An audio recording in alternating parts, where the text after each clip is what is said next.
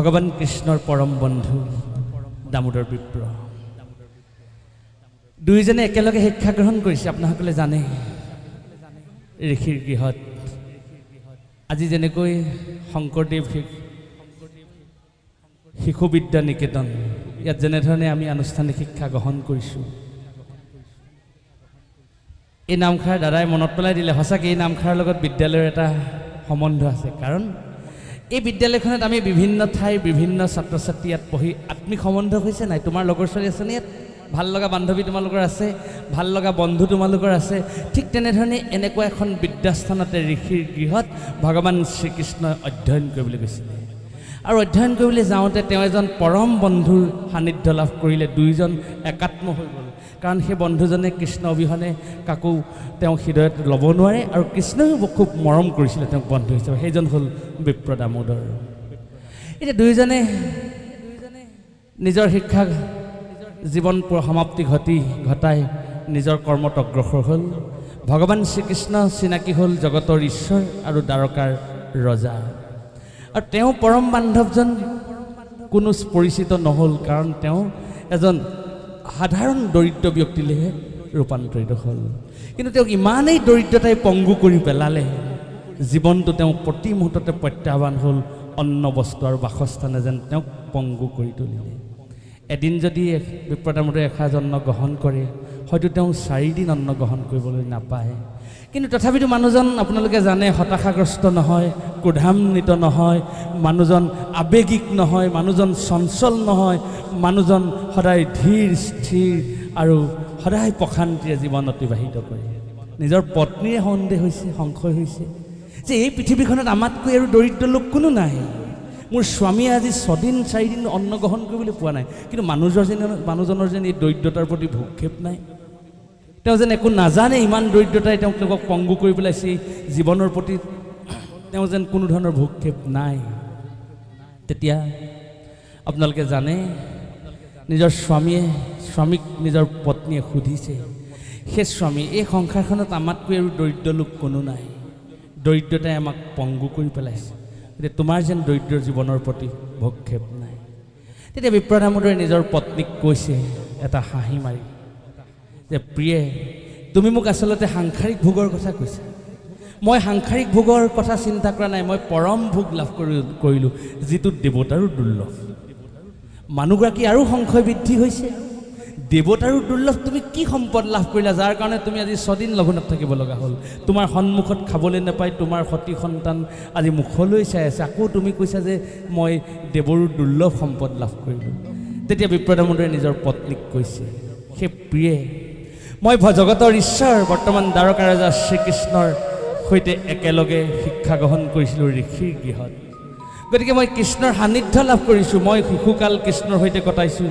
মই কৈশোৰকাল কৃষ্ণৰ সৈতে কটাইছোঁ মই যুৱাকালৰ একাংশ কৃষ্ণৰ সৈতে কটাইছোঁ গতিকে মোতকৈ আৰু ভাগ্যৱান কোনোবা আছে বুলি মই নাভাবোঁ। সেইকাৰণে মই মোৰ জীৱনটো দেৱৰ দুৰ্লভ বুলি অনুভৱ কৰিছোঁ।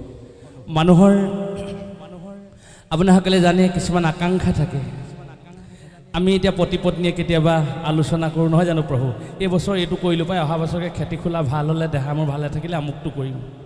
আমাৰ স্বামী স্ত্ৰীৰ মাজত সতি সন্তানৰ মাজত পৰিয়ালৰ মাজত এইখিনি কথা আলোচনা হয়। আৰু এই শুদ্ধ চিন্তাই কৰা আলোচনা কৰি ঈশ্বৰক চিন্তা কৰি কৰ্মবিলাক কৰিলে ঘৰখন মন্দিৰলৈ ৰূপান্তৰ হয়। তেতিয়া বিপ্ৰদামোদৰে নিজৰ পত্নীক ক'লে সেই স্বামী যদি সঁচাকৈ ভগৱান শ্ৰীকৃষ্ণ তোমাৰ পৰম বন্ধু তুমি কৃষ্ণৰ ওচৰলৈকে যোৱাচোন। নিশ্চয় ভগৱান শ্ৰীকৃষ্ণই আমাক কৃপা বৰ্ষণ কৰিব আৰু আমাৰ দৰিদ্ৰতা নিৰ্মূল হ'ব। যিটো আমাৰ এমুঠি চাউলৰ একাল এমুঠি অন্নৰ যিটো আমাৰ হাহাকাৰ কৰিবলগীয়া পৰিস্থিতিৰ পৰা আমি উদ্ধাৰ পাম। এয়া বিপ্ৰদামোদৰ পত্নীয়ে বিপ্ৰদামোদক দিয়া শীত উপদেশ।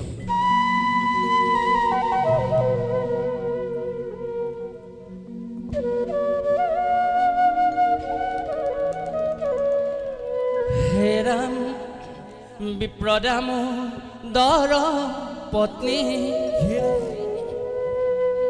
বোলে শুনা প্ৰাণ স্বামী আমি অতি দৰিদ্ৰ ব্ৰাহ্মণ আমি অতি দৰিদ্ৰ ব্ৰাহ্মণ ঘৰে ঘৰে ভিক্ষা মাগি কটাই আছো দিন ৰাতি।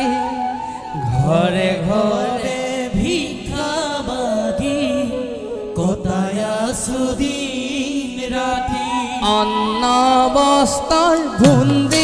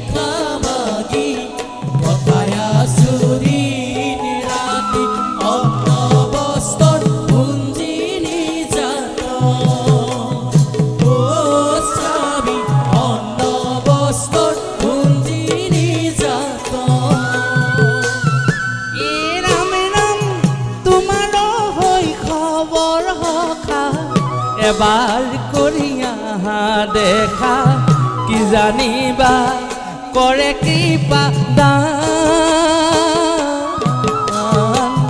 নহয় জানো তেওঁৱেই ভগৱান। অ স্বামী নহয়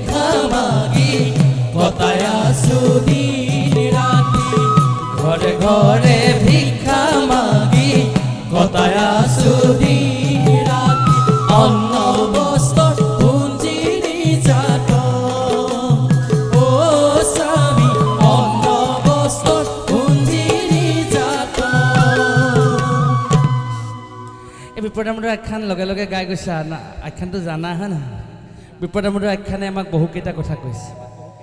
প্ৰথম কি কথা কৈছে জানানে? তোমালোকৰ কাৰণে খুব গুৰুত্বপূৰ্ণ। আমি মান আমি ভাবি লৈছোঁ সেই যে শিক্ষাগুৰুসকলৰ লগত তেওঁ যে আশীৰ্বাদ লাভ কৰিছিলে কৃষ্ণ আৰু বিপ্ৰদামোদৰ একেলগে যে পঢ়িছিলে। খুব যেনিবা মেধা ছাত্ৰ ভগৱান শ্ৰীকৃষ্ণ। হয়তো বিপ্ৰদামোদৰে কৃষ্ণৰ সৈতে হয়তো সমানে শিক্ষা গ্ৰহণ কৰিব নোৱাৰিলে সেইকাৰণে তেওঁ দৰিদ্ৰ হ'ল। কিন্তু দৰিদ্ৰ হ'ব পাৰে কিন্তু চৰিত্ৰৰ স্খলন নহ'ল তেওঁ। তেওঁ সদায় নিজক পবিত্ৰ কৰি ৰাখিবলৈ আহু পুৰুষাৰ্থ কৰিলে। হয়। গতিকে তেওঁ বিদ্যালয়লৈ যোৱাৰ সাৰ্থকতা হ'ল ক'ত? অন্তিম সময়ত তেওঁ কৃষ্ণৰ পৰা সৰ্বসুখ লাভ কৰিলে। গতিকে এই বিদ্যালয়খনো আমাৰ সেইখন বিদ্যালয়েই সেই মন্দিৰভাগে গতিকে আমি সদায় ভাবি ল'ব লাগিব আমি এই বিদ্যালয়খনলৈ আজি আহিছোঁ আমি যাতে একো একোজন চৰিত্ৰৱান লোকলৈ ৰূপান্তৰ ঘটো। গতিকে বিপ্ৰদামোদৰ আখ্যান আমাক এই কথা বাৰে বাৰে কৈ আহিছে তোমালোকে মন দিবা দেই। ইয়াৰ পাছত যেতিয়া বিপ্ৰদামোদৰে কৃষ্ণ যেতিয়া ক'লে পত্নীয়ে যেতিয়া ক'লে যে মই তুমি কৃষ্ণৰ ওচৰলৈ যোৱা কৃষ্ণই তোমাক কিবা এটা দিব। যেতিয়া বিপ্ৰদামোদৰক এষাৰ কথা ক'লে তেতিয়া বিপ্ৰদামোদৰে ভাবিলে যে মই কৃষ্ণৰ ওচৰলৈ যাম হয়। কিন্তু বহুদিনৰ মূৰত মই প্ৰভুৰ ওচৰলৈ যাম মোৰ পৰম বান্ধৱ। মই সুদা হাতখনলৈ কেনেকৈ যাম? আমাৰ অসমীয়া সংস্কৃতিত এটা পৰম্পৰা আছে আমি আত্মীয় কুটুমৰ গৃহলৈ গ'লে মিতিৰৰ ঘৰলৈ গ'লে সুদা হাতখন লৈ যাব নোৱাৰোঁ হয়নে প্ৰভু? গতিকে কিবা এটা আমি লৈ যাবই লাগিব। গতিকে আমাৰ দিনতো এনাই পথাৰ ঘৰৰ পৰা বহুত কিবা কিবি আনিছিলে। মই এবাৰ দেউতাক সুধিছিলোঁ সৰু থাকোঁতে তোমালোকলৈ কি আনিছিলে? একো নাপালে বোলেনো গুৰকে অকণমান লৈ আহে।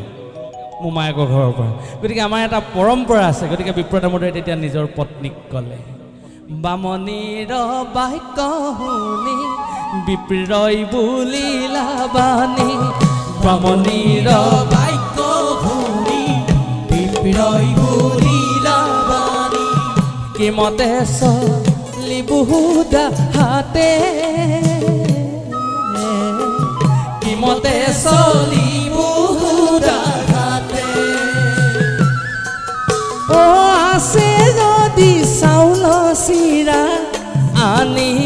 হাতে দিয়া। নতু মই চলিব কিমতে অ দিনতো মই চলিবো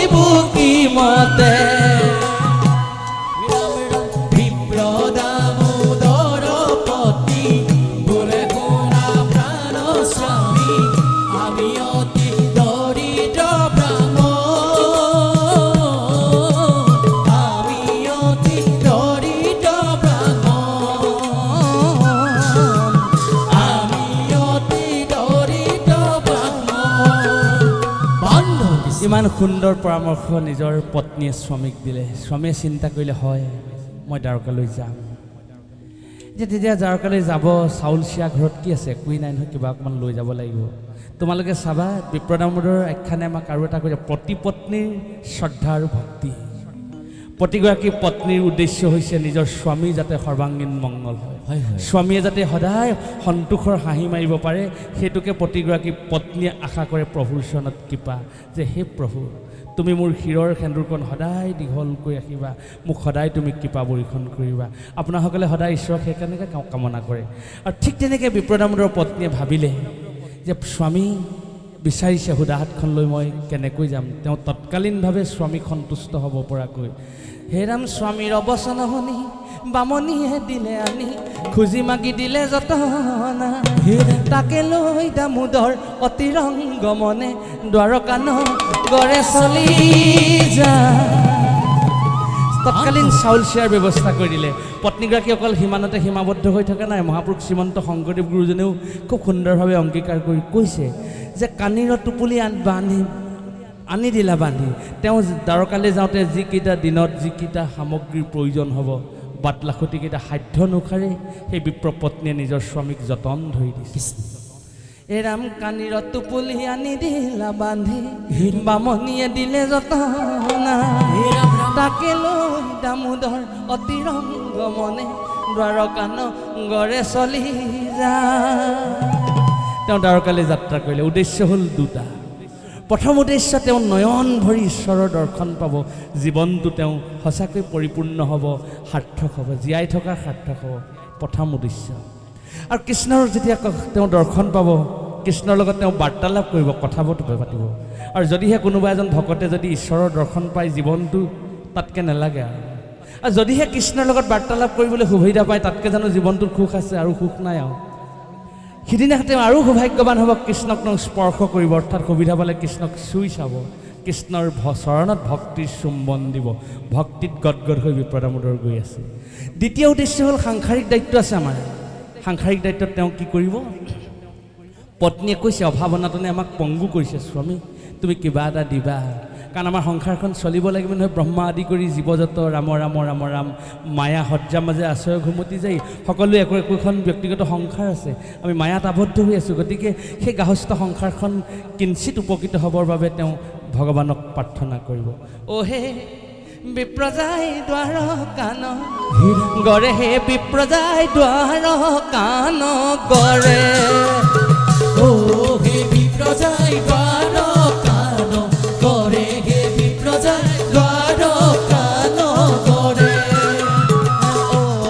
বিপ্ৰদায় দ্বাৰ কাণ গড়ে হে বিপ্ৰদায় দ্বাৰ কাণ গড়ে কৰে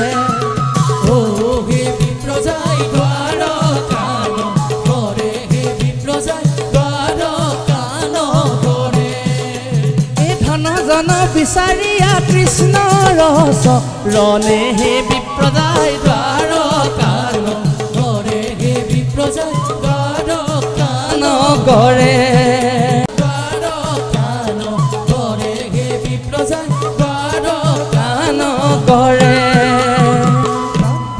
দ্বাৰকা নগৰলৈ বিপ্ৰদামোদৰ আহি আছে। আহি আহি বিপ্ৰদামোদৰ দ্বাৰকা নগৰৰ মুখ্য স্থানত আহি উপস্থিত হ'ল। এই বৃদ্ধ ব্ৰাহ্মণজন থপুক থাপাক খোজেৰে লাখুটি লৈ লৈ হয়তো দ্বাৰকালৈ আহিছে। কিন্তু অপায় অমংগল তেওঁ একো নহ'ল অপ্ৰয়াসে বসুদেৱে যমুনা চেৰাই লৈ এক নিমিষতক গকুলক পাইল ঠিক তেনেধৰণে কৃষ্ণক কোলাত লৈ যেনে হয়নে প্ৰভু যেনেধৰণে বসুদেৱে কোনো অপায় অমংগল নোহোৱাকৈ ব- ভৰা যমুনা পাৰ হৈছিল। দ্বাৰকা নগৰত আহি বৃদ্ধ ব্ৰাহ্মণজনো অপ্ৰয়াসে আহি উপস্থিত হ'ল। এতিয়া আপোনালোকে জানে বৃদ্ধ ব্ৰাহ্মণজন কোনফালে যাব ৱাদি নাইকিয়া হ'ল। যাই বিপ্ৰ দ্বাৰকা কচলি হে পাইলা বিপ্ৰ দ্বাৰকা নগৰী। পাইলা বিপ্ৰ তাৰকা নগৰী।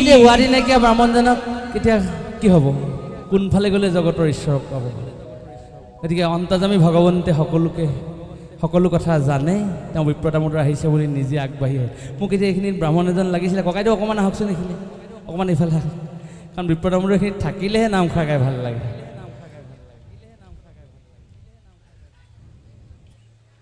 গতিকে আপোনালোকে জানে ভগৱন্তৰ দ্বাৰকা গৃহৰ মুখ্য দ্বাৰত গৈ এয়া বিপ্ৰদামোদৰ উপস্থিত হ'ল এই বৃদ্ধ ব্ৰাহ্মণজনৰ ৱাদি নাইকিয়া হ'ল। কোনফালে গ'লে জগতৰ ঈশ্বৰক পাব?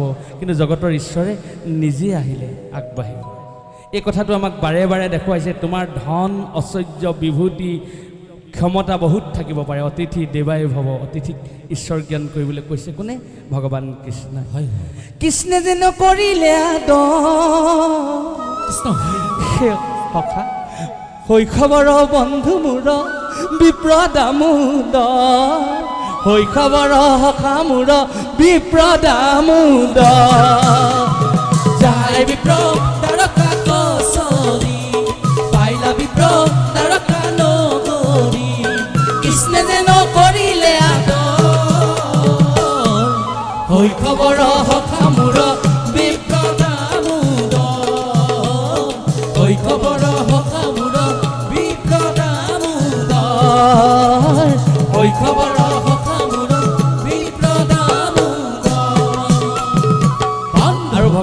কৃষ্ণই কি কৰিলে?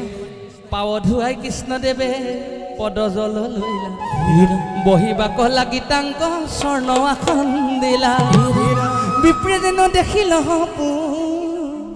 হে কৃষ্ণ তুমি সম বন্ধু মোৰ হৈব আউৰ কোন কৃষ্ণ সম বন্ধু মোৰ হৈব আউৰ কোন